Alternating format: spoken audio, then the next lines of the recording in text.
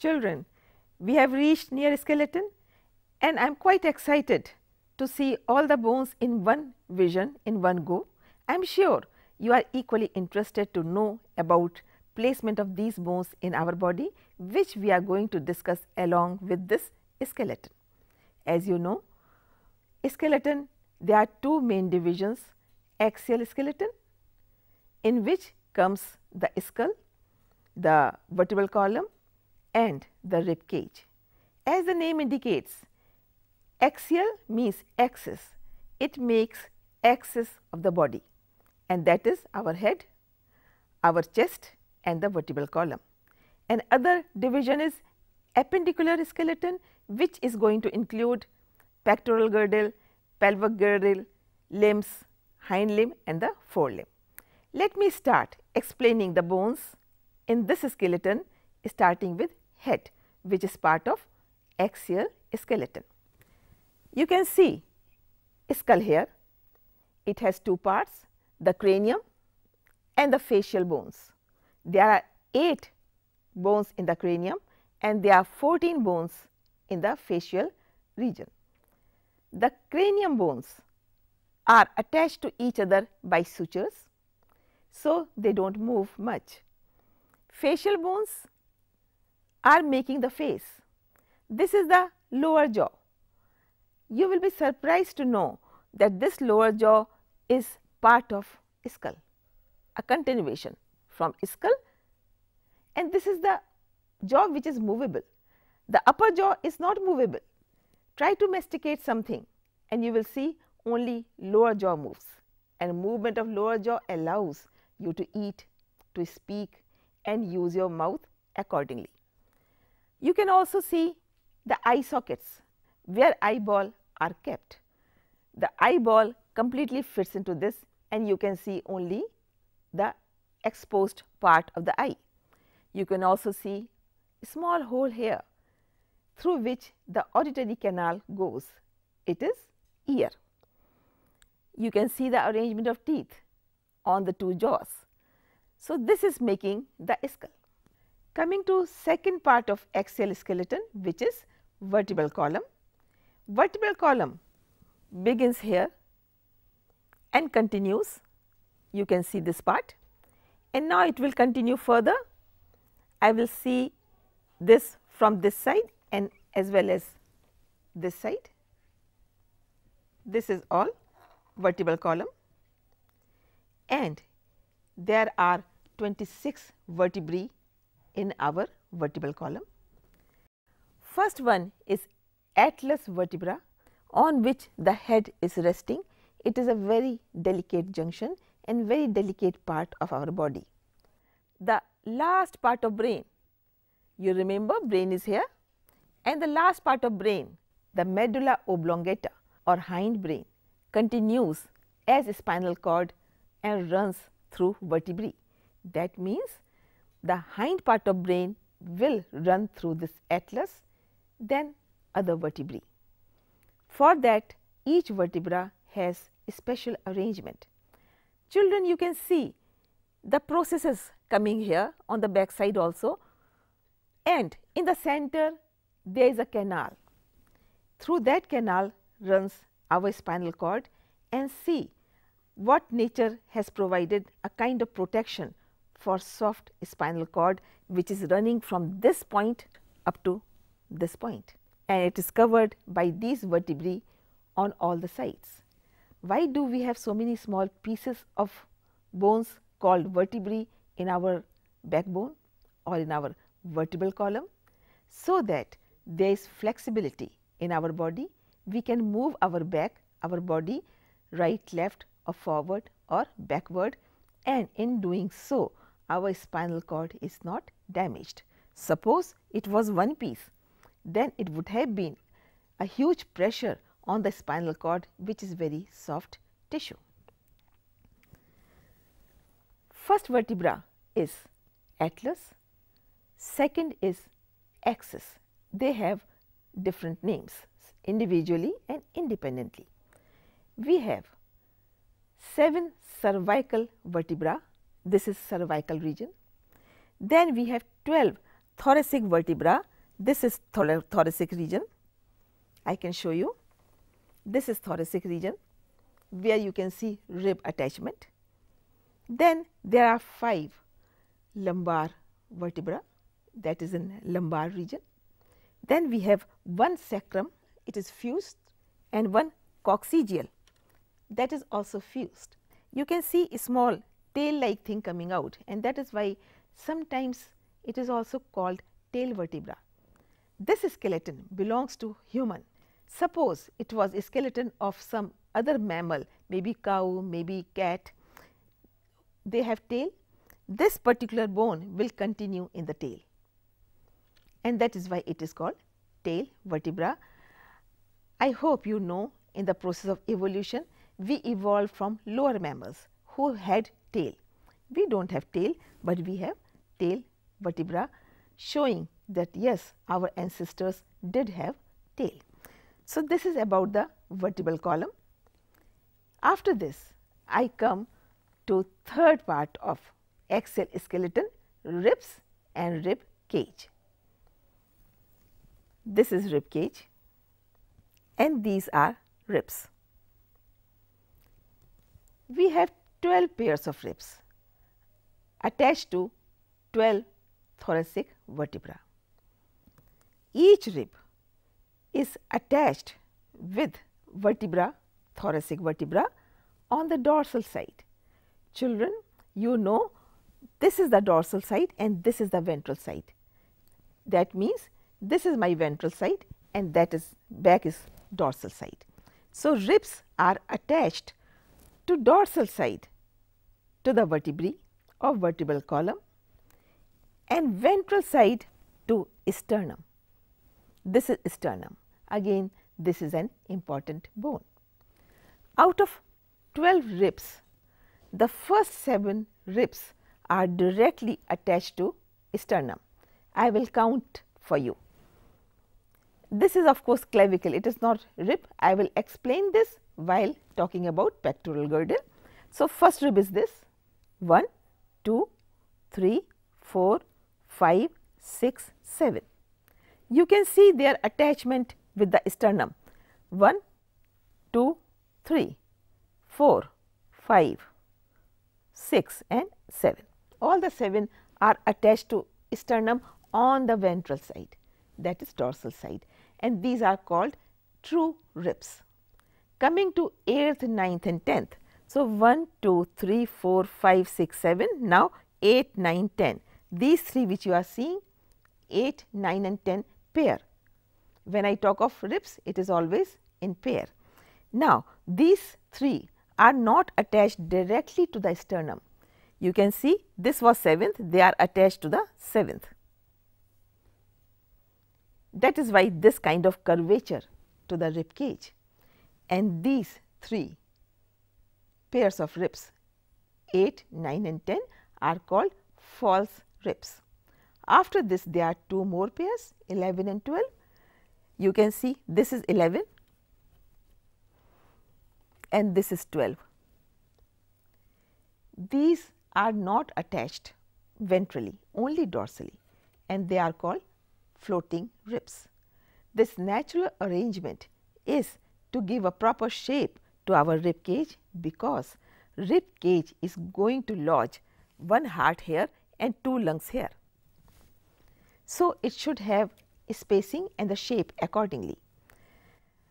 At this point in a natural body is a diaphragm, this kind of position that makes thoracic cavity or rib cage airtight.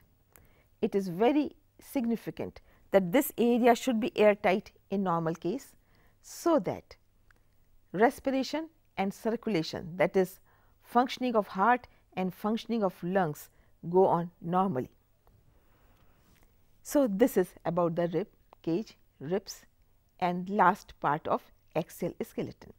So, children I hope you have understood axial skeleton we now come to appendicular skeleton which will include two girdles and two limbs pectoral girdle, pelvic girdle, forelimbs and hind limbs.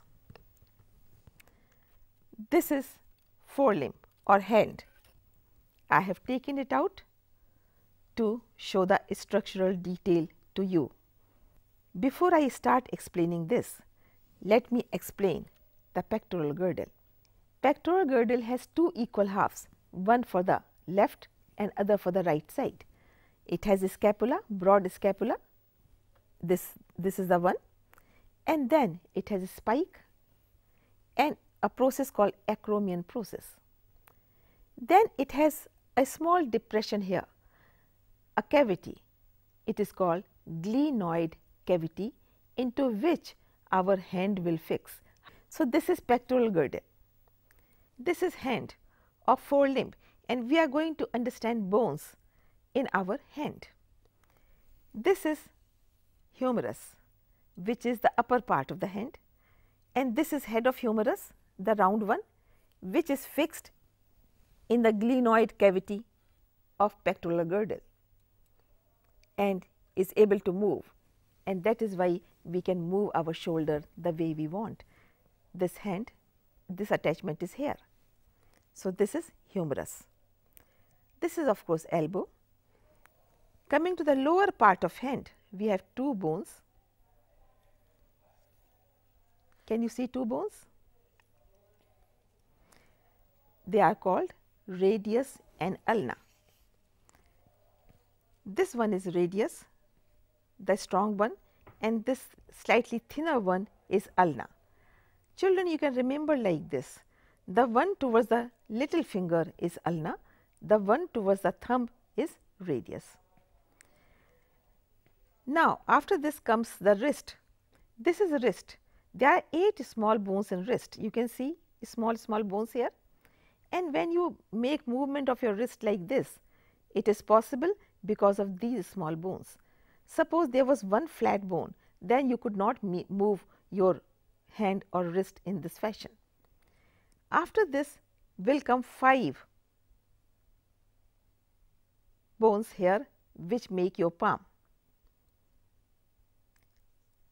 So, these are carpals, the wrist bones are also called carpals and these 5 palm bones are called metacarpals. After that are your fingers. Each finger has 3 bones. Similarly, you can see here.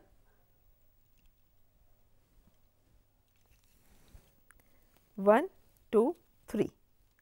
One, two, three. Whereas thumb has two bones. One, two. So, total 14 bones. As I told you, there are 30 bones in our hand.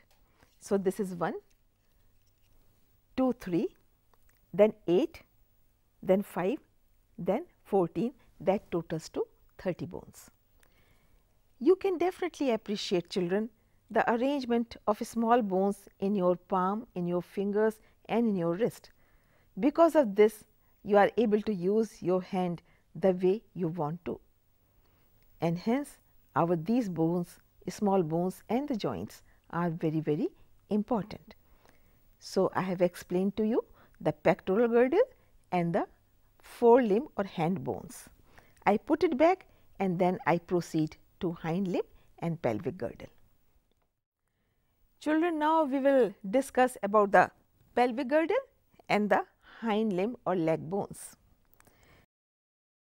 This is pelvic girdle pelvic girdle is also having two halves, the right and the left equal halves for two legs. Each half has three bones ilium, ischium, pubis and three join at one point and that point has a depression called acetabulum. Acetabulum is the cavity in which head of this bone called femur or thigh bone will fix and will be able to move. This is like ball, head is like ball and acetabulum is like cavity. In that cavity this head will fix and will be able to move. One more thing to tell you, the pubic bone is very important. Between the pubic bones, the genitalia is placed. If there is any injury to pubic bone, the whole area in this part is very badly disturbed including the aperture for uh, urine or urinary aperture or anus or reproductive passages. So, this is a place that is why it is called pubic bone because it has pubis area in that genitalia is placed. Coming back to hind limb which is attached to the pelvic girdle. This is the leg, this is the femur. Children you know that leg also has 30 bones. This femur has the head which is fixed in acetabulum cavity of pelvic girdle which allows the movement.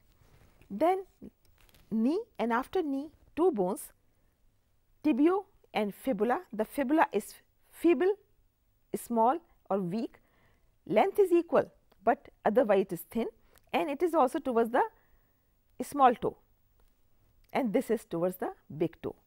Similarly, like in forelimb, it has tarsals 8, then 5 metatarsals in the feet and then 14 phalanges or digits that makes it 30.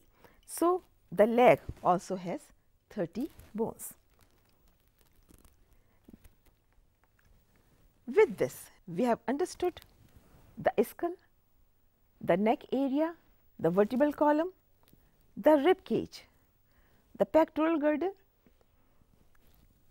the forelimb, pelvic girdle and the hind limb and importance of all these bones in our body. So, children you have seen a true skeleton. I am sure you have enjoyed seeing the bones in reality, the hand bones, the humerus, the leg bone, femur and also tarsals, metatarsals, carpals, metacarpals and it was so interesting to see the vertebrae and the canal through which the spinal cord goes. And you have also seen the importance and the significance of girdles in our body, the pectoral girdle, the way it is arranged to hold the hand and the pelvic girdle, the way the arrangement allows the movement of leg and how our bones are arranged in such a wonderful pattern so that we can move our body in a way we wish to and we are able to do all the work. Children, finally, I want you to appreciate the arrangement of bones in our body, the flexibility, the utility of joints, tendons, the cartilages and ligaments. Can you imagine if we did not have this kind of flexible arrangement, our body could be in one piece. So, in today's session, we have understood in detail the arrangement of bones, their significance and the joints and their utility in our body. With this, we come to the end of this session. Thank you.